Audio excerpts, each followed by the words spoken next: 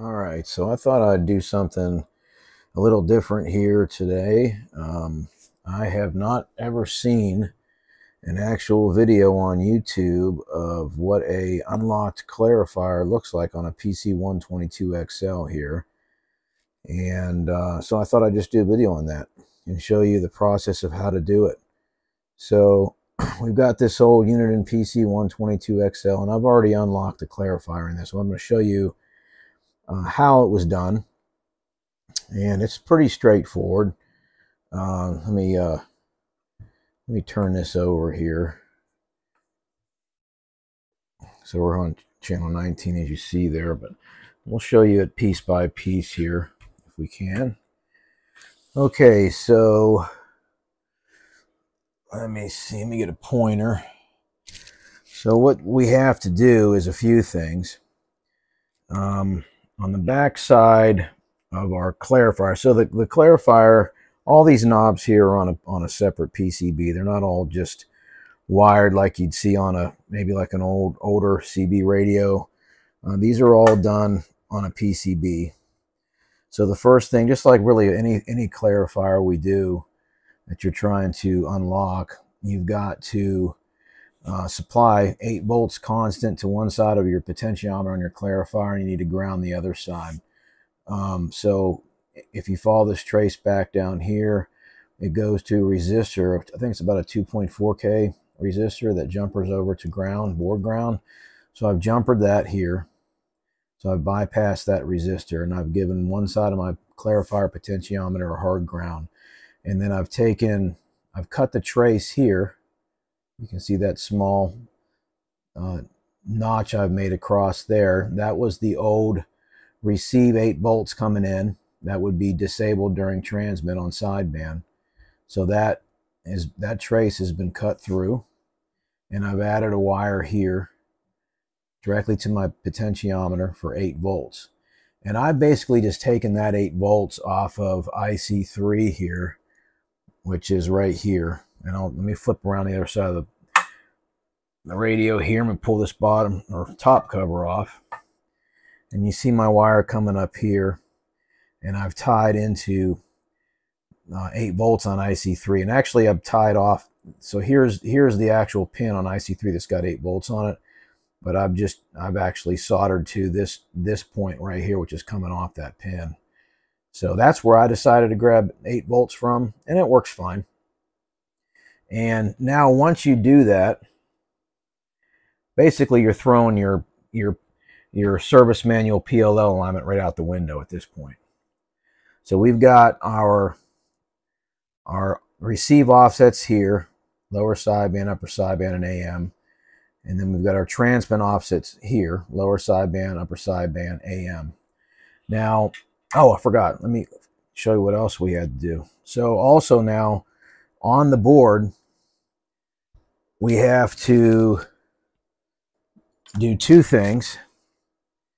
So we're going to lift D25 down here, which is right here.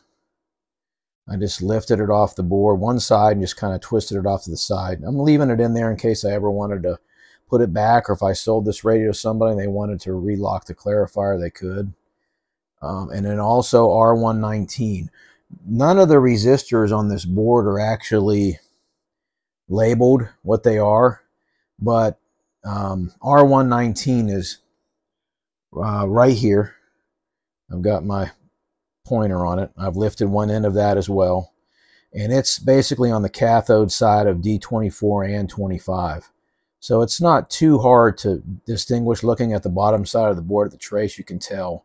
So that that's it right there, R119, D25. Once those are lifted out of circuit now, again, um, well, I guess I shouldn't say again, but I've done another clarifier unlock video for a President AR144. Once you unlock the clarifier, your transmit offset pot here is now disabled.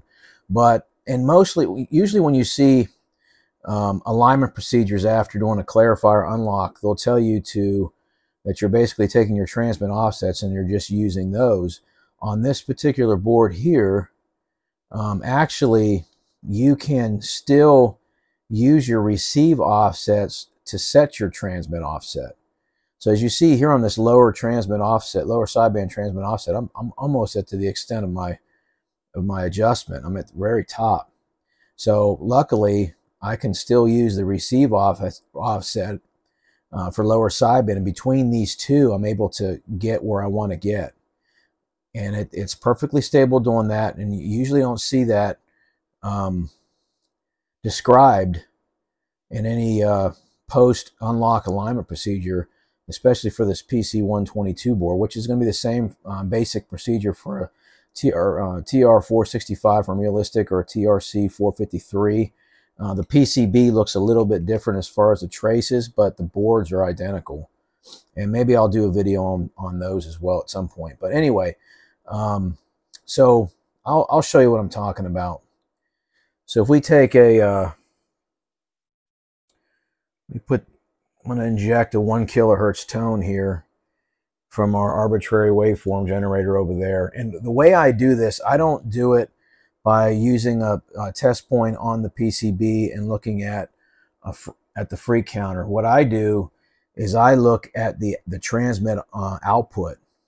So I'm going to be transmitting into an RF sampler there, which then goes up to a dummy load over there, dummy load slash power meter and I'm going to be watching my actual output from the radio on this freak counter.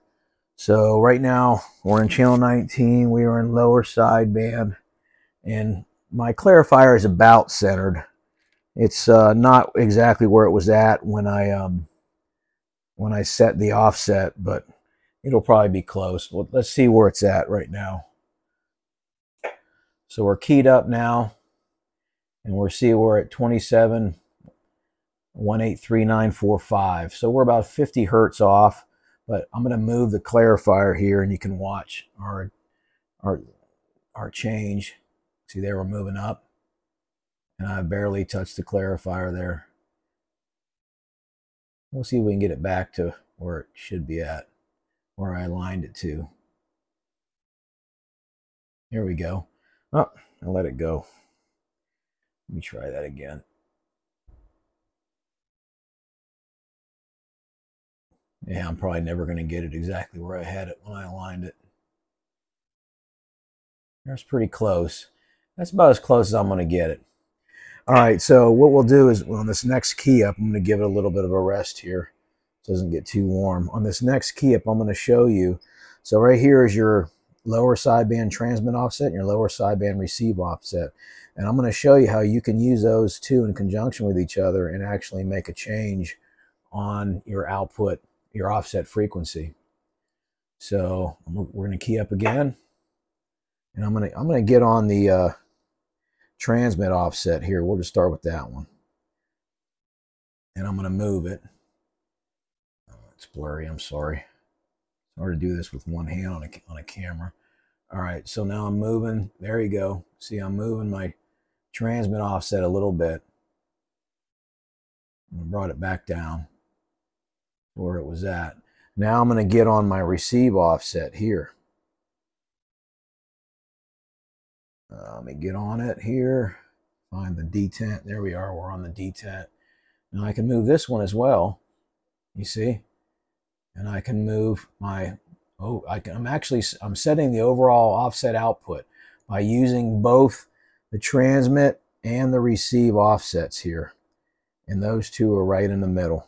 And you can do the same thing for um, upper sideband, which are these two. And you can do the same thing for AM, which are those two. So let me switch to uh, upper.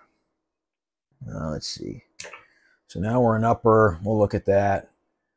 And basically, when you're setting your uh, offsets, you want to set your lower sideband offset to be one kilohertz off your carrier frequency. So uh, if our carrier on channel 19 is 27.1850 megahertz, we want our lower sideband offset to be one kilohertz below that, 27.1840 megahertz, like you saw. In upper sideband, we want it to be one kilohertz above the offset. So here's upper sideband, and you see we're pretty close there. And again, if you needed to make an adjustment or after unlocking your clarifier, you can use both of these pots, the transmit offset and the receive offset, offset for upper sideband to make this uh, adjustment. And then the same thing again. We'll turn off our uh, our tone there and we'll just dead key on AM. So now we're in AM mode and we'll go ahead and key up and we'll see what we're looking at. So there's our AM.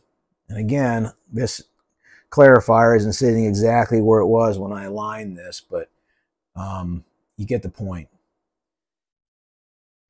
At this point, you would use your AM transmit offset and your AM receive offset, offset in conjunction with each other in order to set your overall offset and your overall output.